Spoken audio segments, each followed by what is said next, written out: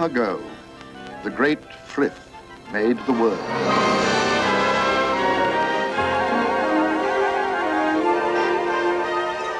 He made all the stars, and the world lived among the stars.